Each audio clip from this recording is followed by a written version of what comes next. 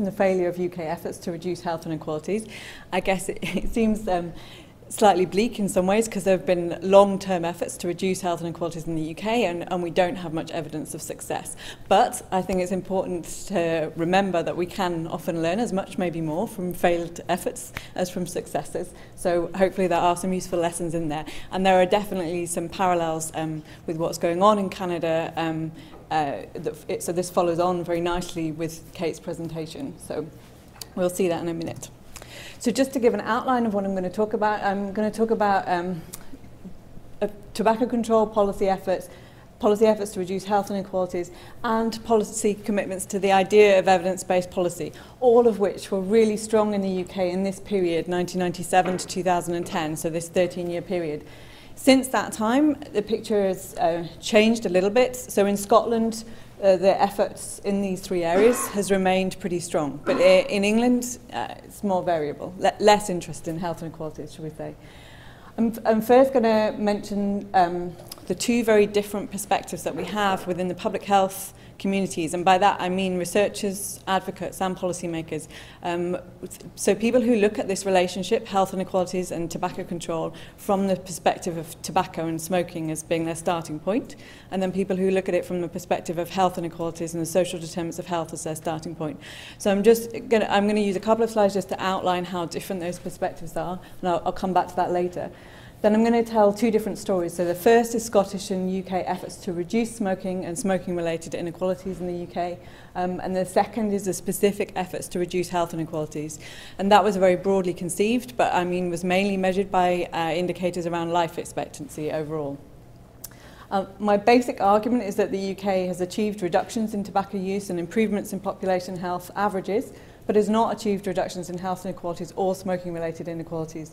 Um, and population level improvements are increasingly threatened by this. So I think there is a need for change and there is a need for these two different parts of the public health community to start get, getting better at working together. Um, and so then looking to the future, I'm going to talk a bit about how to bring these two agendas together. So um, the contrasting um, approaches, and th thinking about this, I think is summed up really nicely by this article that was published by Lawrence Gruer and colleagues um, uh, a few years ago in 2009. So they produced these graphs, so they're survival curves, um, and, they're, and they're separating people by um, sex, so they've got women and men, by social class, so we've got the top social classes compared to the bottom social classes, and by current smokers and never smokers. So they produced this from a 28-year cohort study in the west of Scotland, and then they concluded this message. So it was, it, Lawrence Gruer works at um, an institute that's very much situated between research and policy. So he was making, they were making specific recommendations to policymakers. So what they said was smoking itself was a greater source of health inequality than social position and nullified women's survival advantage over men. This suggests the scope for reducing health inequalities is limited unless many smokers in lower social positions stop smoking. So the interpretation of this message from a policy perspective, I think, would very much be if you want to reduce health inequalities, then you need to focus your efforts on tobacco control. Alex Scott Samuel, who's a long-term researcher in the health inequalities field, took the same uh, graphs exactly and came to very different conclusions. So these are his conclusions. Examinations of the survival curves shows that after 28 years of follow-up, social class differences in mortality among never smokers are as great or greater than those among current smokers. The important implication is that smoking abstinence or cessation has little or no long-term impact on health inequalities. So the same data, same graphs, completely different conclusions from a policy-making perspective. And I think that you can look at those graphs and reach both of those conclusions. And so that is just to highlight the way in which people bring their own kind of lens to the to these issue and, and and then that is I feel very much what informs their policy recommendations. The data isn't um, speaking for itself. So to go on to look a little bit at what um, has happened in relation to tobacco control, uh, I'm going to talk a bit about Scottish um, and UK efforts. Obviously, I'm, I'm based in Scotland, so I, I sometimes end up focusing on Scottish approaches, but also in the um, since devolution, political devolution in um, 1998, Scotland has seen itself as a bit of a public health leader in the UK. So although the situation is actually many of the policies have, en have ended up being the same, Scotland's often the one that has taken the um, front step, has moved first. Um, and, and I'm drawing here from um, some of my own slides, but mainly from slides from Professor An Amanda Amos, who's a kind of key researcher working in this area in our university. So tobacco control um, policies during the Labour years, and, I, and I, I wanted to say a bit about the context of the Labour government that was in power from 1997 um, to, to, to 2010 across the UK. It, it followed a period in the UK where we'd had a, um, governments that weren't particularly interested in public health um, at all. And what, to the extent that they were interested in public health, they saw um, the government's responsibility very much as limited to public information campaigns. When Labour came in in 1997, it was a very different feel. So public health community at that time felt very positive, very optimistic. Not only were key public health issues like tobacco and health inequalities on the agenda for the first time in a very long time, so the first time in 18 years, um, it, there was also this strong commitment to evidence-based policies. So there was a lot of interaction between researchers and policymakers at that time. So and one of the first things that they did when in office was they had this smoking kills um, strategy paper, so tobacco control strategy paper. It set out a comprehensive approach to tobacco control and, and since then we've had multiple policy developments, some of which have, uh, have been supported or enhanced by um, European Union activity in this area as well.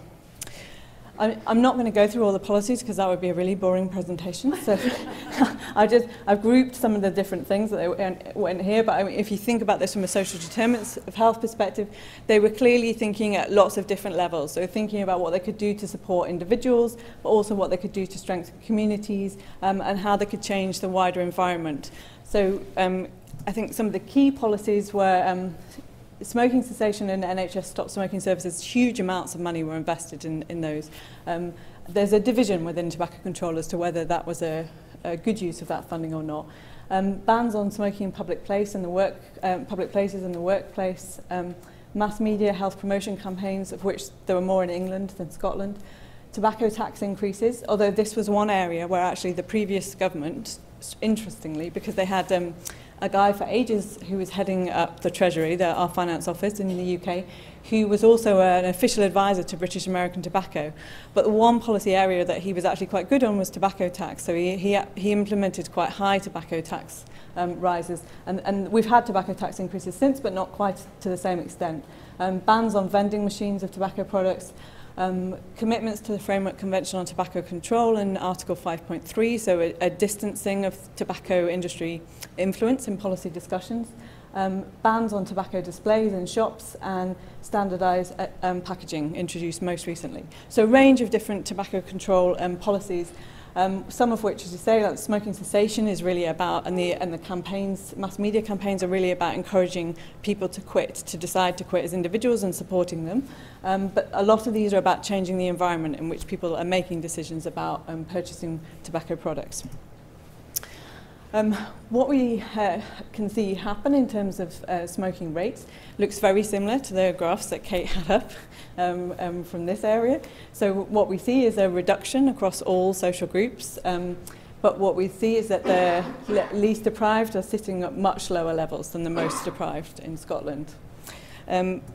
Scotland too, so again, very similarly, we, ha we have a target for becoming uh, smoke-free, in inverted commas, so less than 5% um, by 2034, so very similar. Um, and this is a projection by Ash Scotland of, of what would need to happen in order to meet that target. And I think that the general conclusion now is that while everyone in public health, I think, is excited to have the target, it's going to be very hard to meet that target. Um, and it's particularly going to be hard to bring down, obviously, the higher groups. I think there's quite a lot of um, belief that this, this is going to be fine for the least deprived groups, and it's the, as we get more and more deprived, it's going to become harder and harder. Um, so there's been quite a lot of research funded now uh, that's look, trying to look at equity impacts of tobacco control interventions. And as I say, Amanda Amos is one of the people that's led on this along with my colleague Sarah Hill. Um, and one of the things they've done is systematic reviews of the evidence. And they've done three different ones. I'm, I'm just going to pull out the main messages here. Um, And they look, so they've looked at all types of intervention, study design and length of follow-up and um, it, they've tried to go as broad as possible and to draw out what do we know about how tobacco control interventions impact on inequalities. And this is just one of the tables that they've produced. So this is looking at it um, uh, for adults. And so this shows a kind of a spread of the evidence for these different types of intervention. And what you can see here, I mean, the main message is that the evidence is, is pretty mixed um, and it's pretty limited for almost every type of intervention apart from tobacco tax in terms of the potential to have a positive equity impact. So I think that reinforces the sense that we're facing a very difficult prospect if we want to meet the, that 2034 target. Um, This is uh, looking at the summary, uh, so specifically pulling out um, equity impacts for individual cessation support, which, as I say, has been a big um, area of investment in England. And that's showing that that particular approach tends to have negative uh, equity impacts. So tends to, what we see with that kind of approach is that people who are better off tend to respond to this more, and so then that increases the um, inequality in smoking. So the conclusions that they've drawn, so increased tobacco control action has led to significant declines in smoking prevalence, but no decline in inequalities in smoking. Um, we know what works to reduce smoking uptake and increase cessation, but we know much less about what works to reduce inequalities in smoking, particularly in young people. Um, and many types of tobacco control intervention that have been implemented seem to either increase or have no effect on inequalities in smoking. So I think it is a difficult area to move forward in. Um, there is also the issue, as, so I've, I've just mentioned, about intervention generated inequalities generally in public health and basically a lot of tobacco control interventions fall into this category. So the intention is not to increase inequalities but that is a, a, a byproduct of the fact that people who are better off uh, are more able to respond. There's also a bit of a, so although tobacco taxes looks like a promising area from a smoking inequalities perspective, there's a lack of research on what the overall equity impacts of increasing taxes is. And so some countries have really gone down this route of thinking, well, you know, it works at population level and it works in equity terms, so we're going to just really hike up tobacco taxes. So Australia is committed to raising tobacco taxes to over $40 by the year 2020. So, so the cost of packs will be over 40 Australian dollars. Um, that's a huge amount. When you're talking about that kind of level of taxation, obviously there are substantial impacts on family income. And we know that tobacco is an addictive product and is harder to give up if you're living in difficult circumstances. So we would expect that that kind of policy intervention would have impact on people's ability to pay for housing, heating, um, food and so on. So, and that, this is an area of research which just hasn't really been looked at. Um, and, the, and there was also one thing I wanted to say a little bit more about. Hilary Graham's done some great work on this. In tobacco control, there has been in the UK a bit of a sense that denormalisation of smoking um, and tobacco is a really positive thing that helps bring rates down. But that obviously also has um, implications in relation to stigma and how people feel about themselves if they are a smoker. Um, and so Hilary Graham gave a talk about that recently. She's written a really good paper on this. Um, and, and she was highlighting the way in which smoking as an act now in the UK tends to be it's seen as an indicator of being lower, lower social class. So, that she, so she's pulled out a few kind of very popular TV programs. This one's called Little, Little Britain, and this is how the BBC website describes the main character, Vicky Pollard. So who's offensive in all kinds of ways. Vicky Pollard is your common or garden teenager delinquent, the sort you can see hanging around any number of off licenses, so that's alcohol shops in Britain, trying to persuade people to go inside and buy them 10 fags and a bottle of White Lightning, so cheap cider. Whether nicking stuff from the supermarket or swapping her baby for a Westlife CD, Vicky reacts to any accusation with indignant outrage while filling you in on this thing what you know nothing about. So you can see the depiction there, and, and, I, and you know, it's true it comes across through many kind of um, media outlets. This is another example, another comedy show called Shameless, And again, you can see the main character here being strongly associated with tobacco smoking. And it's just an area in which I think um, tobacco control researchers are only just starting to uh, think through what the implications of that are. So I'm going to move on now to talk about UK efforts to reduce health inequalities. And um, I think the UK is a, a really interesting uh, country to look at, not just because I'm from there and it's what I've studied, but it's the, it's the country that's kind of taken the most comprehensive and long-term approach to tackling health inequalities so far. So this is um, a little graph that um, Mackenbach and Bakker put together, um, which were, they, they were reviewing uh, countries across Europe that, and their approaches to health inequalities, um, and they kind of reviewed each country's approach. But it's just showing that the UK was kind of has always been ahead of the pack here. So from 1980, when we had to um, The Black Report was published, which had been commissioned by the Labour government in 1977, published in 1980. Um, the, the government completely tried to shut down that report and it was basically ignored by the government for the next 18 years, but it did trigger a lot of research in this area. And then we have a lot of policy activity from 1995 onwards. So the basic timeline of what happened in the UK. So I think the th that there was some thinking that when we established the National Health Service in 1948, that that would deal with health inequalities. Like once healthcare was free at the point of delivery, um, we shouldn't have health inequalities anymore. So it was some surprise um, when in the 1950s, 60s and 70s, it emerged that health inequalities se seemed to have persisted despite that. So then we have this government commissioned review, um, but it's published under a government that's uh, really not in favour of it. And then finally we get Labour elected in 1997 on this um, kind of commitment to what matters is what works, and they immediately con commission a follow-up to the Black Report that was known as the Acheson Review. They stay in, off, in power in, in the UK level for 13 years. They do a lot of activity, but by the end of that time, um, in 2010, the National Audit Office, which is the office that looks at how different parts of the government have spent their money and uh, whether they've achieved value for money, reveals that health inequalities have not reduced. I mean, people, people already knew this.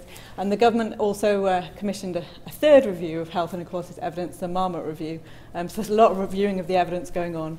Um, and then Labour were defeated at, at the UK level, and, and the emphasis on health inequalities at a UK level has become much less clear since then. So this is just a kind of example of, of the sort of headline that we get every year. So you can get this kind of headline from any year that you look, that the health inequality gap is still growing. Um, and you can get it for any different country in the UK. Um, and this was a little BBC News piece that was on um, that National Audit Office report, which so that you can see the headline is the health gap drive is wasted money. So uh, there is a real pressure here on the health inequalities community. I think there's a real uh, danger that this uh, issue of tackling health inequalities no longer seems politically attractive to anyone, um, given what, what has happened. So um, it's important that we try to learn the lessons that we can. So what explains this lack of success? Um, there are a range of different views. So some people would say that the evidence didn't give policymakers enough sense of what to do and what would be effective. Um, some people would say that, that the policies, so this is kind of the opposite argument, the policies that were developed didn't reflect the available evidence and that the evidence was sufficient. Um, and that would have been, you know, for various reasons, lack of political will. An important one was a perceived lack of public mandate, which I'm going to come on to in, in a bit later, or the sense that health interests were out-lobbied um, by other, often economic interests. Um, and then the third thing, which I think there's more agreement on, is that there are a range of other policies which weren't in the health sector, which is, have exacerbated health inequalities.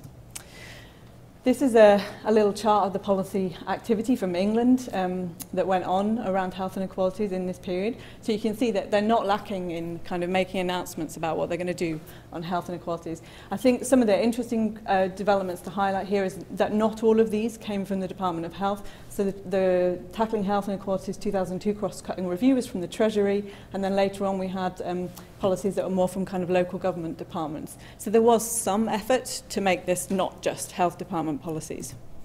Um, some of the kind of interventions that they uh, implemented, I mean, there were, there were so many, um, so, and there were so many different things going on, and I think that makes it in many ways hard to learn lessons. They did things at a range of different levels, um, if, if we think about the social determinants of health rainbow model. So they did lots of different exercises on trying to get people to change their behaviours. So there was tobacco control thing, there, there was targeting of smoking cessation services to poorer areas, there was a national diet ad, um, action plan, um, There were also a range of different things that had different labels over the years that basically involved um, giving poorer communities a pot of money and then saying you as a community should work together to think about how to spend that money.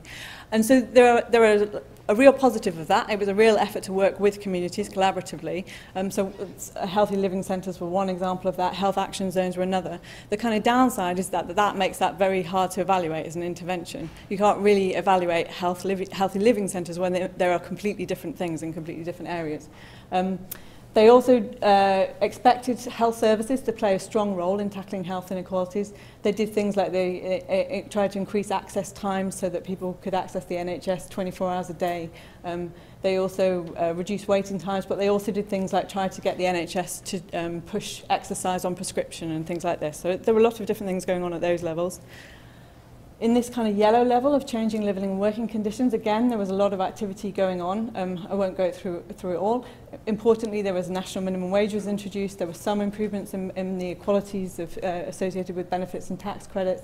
There was a lot on tobacco control that we've already talked about. And then there were a range of these, issue, these initiatives that were, as I say, pots of, giving pots of money to local areas and letting them decide. So healthy living zones and health action zones.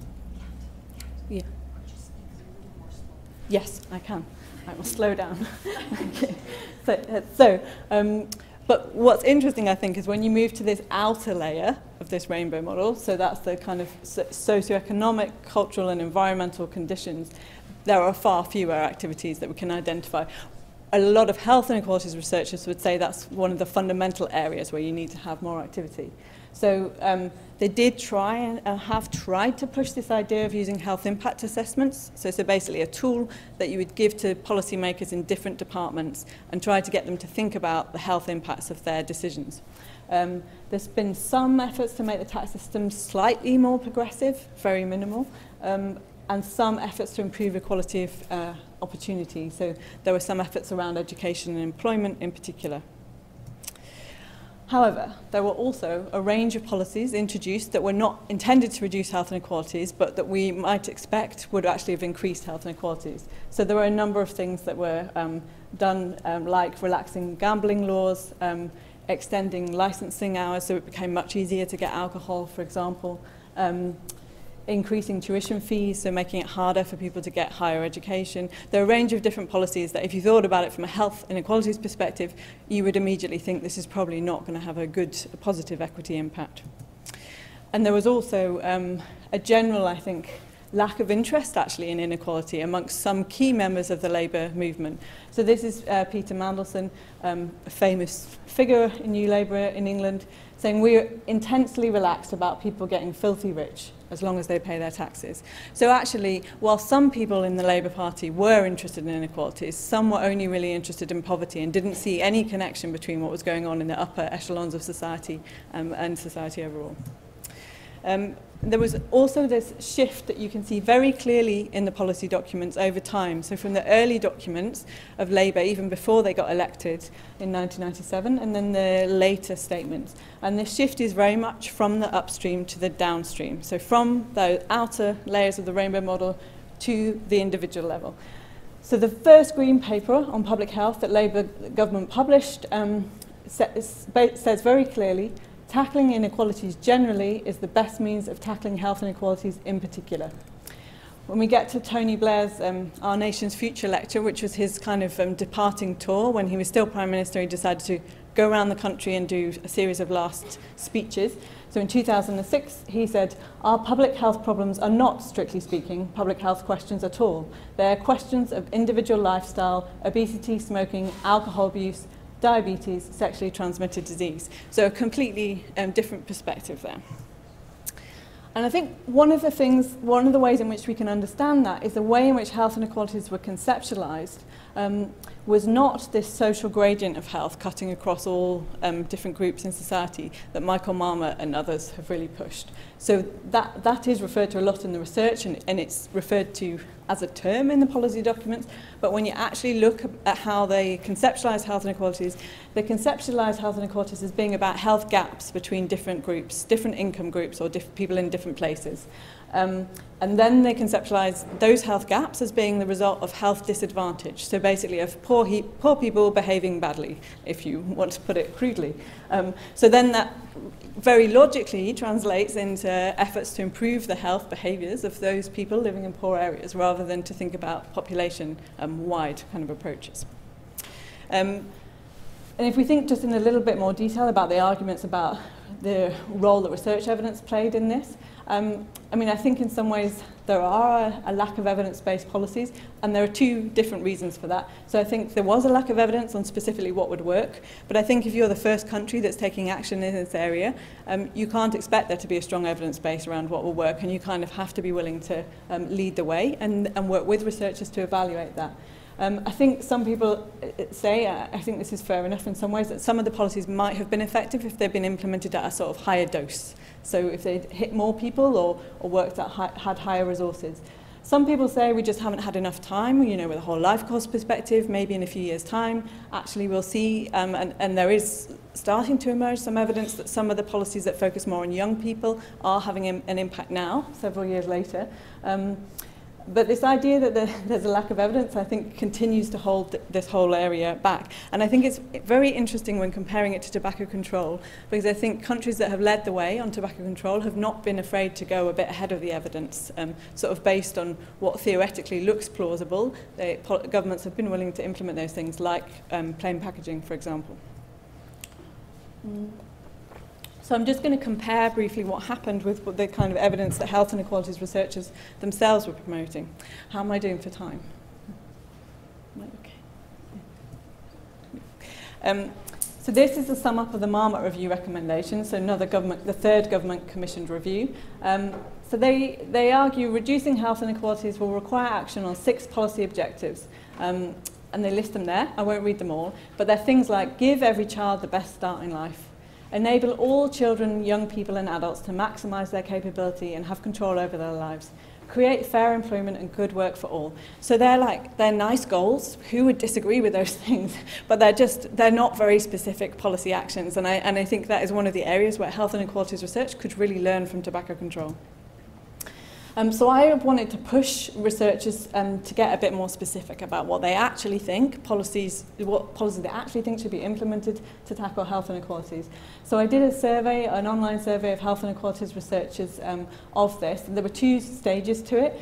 And I basically tried to collate in the first stage all of the recommendations that I could find in the literature around policy recommendations for reducing health inequalities. And then I asked people to answer a series of questions on them.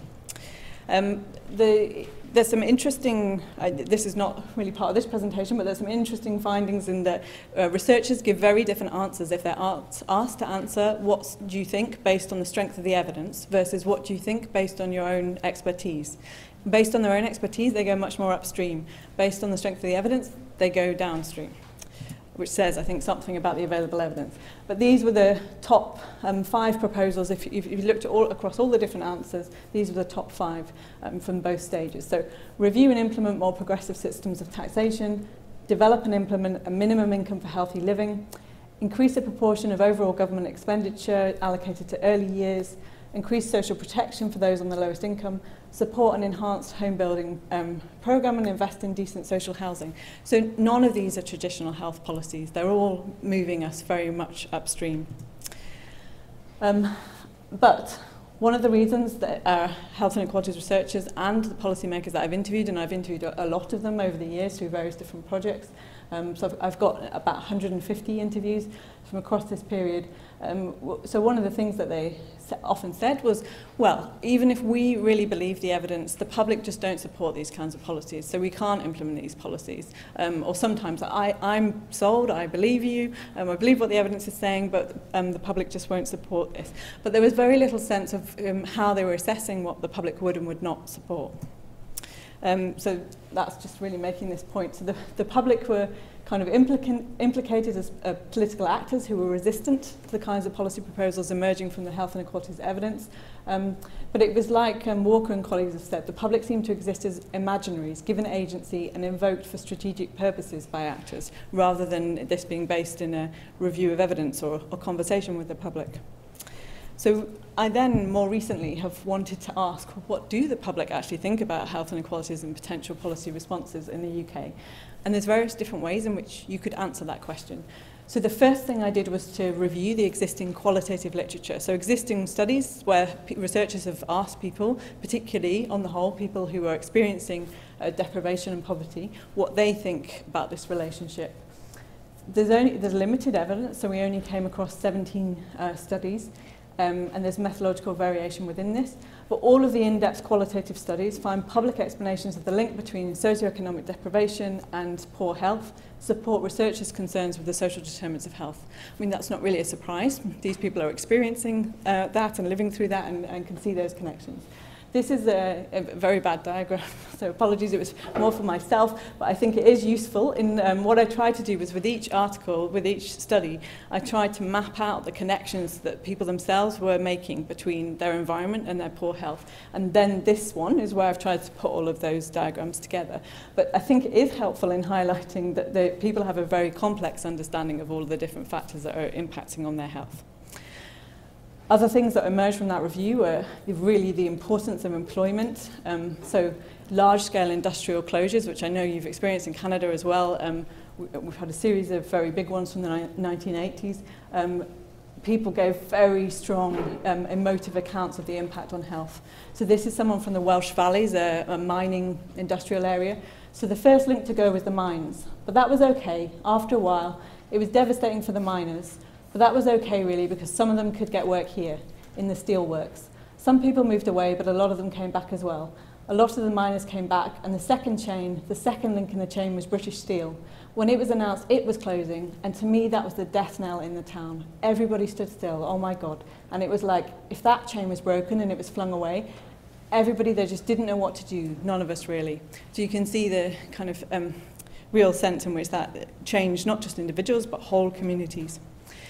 And then the more recent accounts of um, employment in the UK, particularly amongst young people, was very much a no pay, low pay cycle. So this was not people who were never experiencing employment and just sitting on benefits, but they were constantly moving out of insecure employment and on, on, back onto benefits and then back into insecure employment, um, creating very difficult um, health context and um, very difficult context into which, which to make healthy decisions. Um, when it comes to unhealthy commodities, so smoking is obviously one of those, but also drugs, alcohol, and um, unhealthy food, what really interested me was the consistency with which these were described across the different studies. So this table is just kind of summarizing that, but they were consistently described as things that could uh, distract you um, and uh, kind of help take you away from your difficult circumstances. So uh, this is just so, so this is um, a piece by Hilary Graham about smoking. So for many of the mothers who were caring on a full-time basis for children, smoking a cigarette emerged as their only luxury and their only leisure activity. Um, and then for unhealthy diets, I really like this quote. So people are always going to buy cakes. It's just the pills of life. They eat cakes and biscuits and sweets on and so on that taste nice and they make you think of different things. Um, there's a bit of a paradox here because people really understand, people experiencing really understand the connections between these wider determinants and, and um, poor health, but when you ask them to talk about health inequality specifically, they're reluctant to talk about it, reluctant to acknowledge those health inequalities. And I think if you look at why that is, a, a sense of that it is to do with the stigma and shame, not only of being um, poor, but also of poor health. And people are resistant to anything that categorizes them as being more likely to experience those things. And that means I think it's very difficult to have public conversations about health inequalities. So there's been a lot of efforts in the UK to get discussions about health inequalities out there into the media and a sense that the public just don't get this and if they only got it then we'd be able to implement these evidence-informed policies. This is a quote that I think made me in particular stop and question that. So it's, a, it's in Scots, and I don't have a Scots accent, so I shall read it in, in English, apologies. So nearly every day I'm picking this paper up, the newspaper, I'm reading about life expectancy with me and compared maybe with staying down in London. They're absolutely kicking you every way they can. And if you're in a poor area, you'll always be in a poor area. Nobody's going to try and help you out. But if you're in an affluent area, to hell with the rest. So a sense that just the process of reading about health inequalities in the newspaper itself could be um, make you feel quite disempowered and stigmatized. I, so I also asked this question doing a national survey. I think this is the least interesting way of asking people, so I'm not going to say lots about it. But what it did say was that most people actually support the research-informed policies that researchers, um, that, so all of them actually. So most people supported all of the research-informed policies, including the more economic ones like increase the minimum wage and introduce higher taxes for richer people. Um, we then did these things called citizens' juries, which is a more deliberative approach where we, we were getting around 20 people in three different cities who were um, broadly representative of different groups together to, for two days to debate research evidence and potential policy responses on health inequalities. And for me, this is a, a better way of asking this question. Um, and so they got to hear lots of different evidence, including from tobacco control advocates about the need to, to bring, so they got these two different perspectives I talked about at the beginning, and also from people with a more social determinants of health perspective. What we see is that there is a bit of a change at the beginning of the intervention and at the end. Um, so people move away from thinking that the NHS is the answer to health inequalities and start to spread out across a wider range of more upstream policies, particularly economic policies. Um, and, and that shift was unexpected based on the discussions on the first day when people seemed really resistant to the idea that it was anything but individual behaviours in the NHS. Um, so we got them to do lots of different things, but the top results from their collective um, voting exercise, which I found particularly interesting, um, I won't go through these in detail, but the key thing is, again, much like researchers, with a, with a little bit of exception of spending more money on the NHS in Manchester and Liverpool, they generally move towards economic redistributive kind of policies as being their preferred approach to tackling health inequalities. Um, think I'm going to skip these slides. I just wanted to briefly mention some new policy developments in Scotland, which I think are a bit more exciting from a health inequalities perspective. Um, so uh, there are moves, I think, to go, go upstream in Scotland as compared to England. So one thing, one council in Scotland is now thinking about rolling out free school meals, um, not just at school times, but for all children every day of the week, 365 days a year, to ensure that all children in Scotland um, are able to get a healthy diet. There's been experiments with the trial of a universal basic income. I'm sure you've probably heard about that idea. Um, there's been a baby box scheme, so every baby born in Scotland now gets a box and that can act as a, a that's full of different baby stuff. Um, there have been a, a very successful experiment uh, to pay women from poorer communities to quit smoking. Now, the results of that are very positive from a health equity perspective, but as you might imagine, some of the media coverage less positive. so the Scotland, so the government's a bit nervous there. Um, and there have been lots of more these more deliberative approaches, like the citizens' juries that I described, especially around budgeting. So bringing people, members of the community, and researchers and policymakers together to talk about how they're going to spend um, public public money. So just to end, I want to talk about how we might bring tobacco control and health inequalities agendas together. So one, I think, is to understand that smoking is a cause of poverty, but also um, poverty is influencing smoking rates. Um, and I think there are some positive moves in Scotland with ASH Scotland, our main tobacco control advocacy group, and Poverty Alliance coming together. One of the ways in which they've done that is ASH Scotland is now officially supporting the Stick Your Labels campaign, which is designed by Poverty Alliance to get over the stigma of poverty. Um, there is interest in this kind of health in all policies approach across Europe, but Scotland's more interested than England. Um, there are, I think, real efforts, recognition now in health inequalities that you don't change policy just by getting better evidence, that you have to move into thinking about understanding the politics of policy making. And that is one area where, as I say, I think um, tobacco control has, has been better. Um, so you've got people like Johan Mackenbach calling for more advocacy around health inequalities. Um, there's a recognition about this lack of advocacy in health inequalities, and this is a, a, a lot of people my interviews reflecting on that, and they often compared it to tobacco control. So tobacco control is seen by a lot of health inequalities researchers as, as the place that got advocacy right and that we can um, learn from. Um, so that, that's a kind of recognition of that comparison there. Uh, in my book, I, I compare this to really um, in some detail, and what you can see here is that all of the features of public health advocacy that Simon Chapman talks about, very strongly evident in tobacco control in the UK, are much less so in health inequalities. Um, Where we do have advocacy in health inequalities, it tends to focus on just trying to get the public to understand that there is a health gap. So this is a football health league table that Claire Bamborough put together.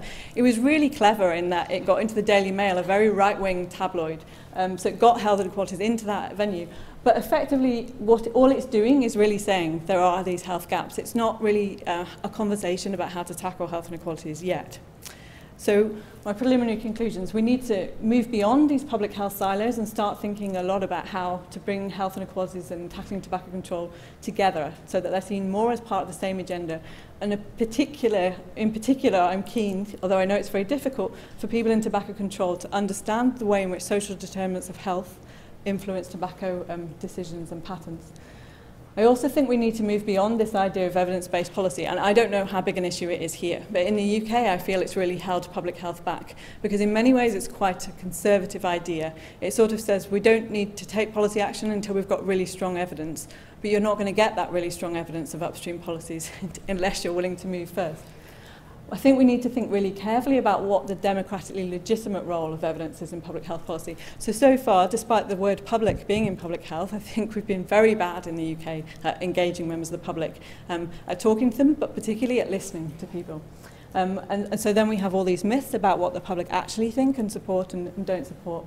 Um, and as part of this, uh, one of the things that we did in the citizens' juries and that people do in participatory budgeting is to be very explicit about what the potential trade-offs are between different policy areas. So if you spend money on this, then you can't spend money on this. If you're going to, you, you know, one trade-off might be you're going to bring down tobacco uh, levels overall, but you're going to allow inequalities in smoking to increase. But to just get more explicit about those trade-offs.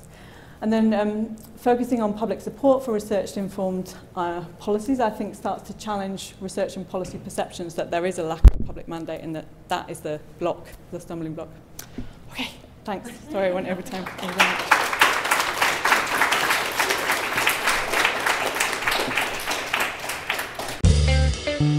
much.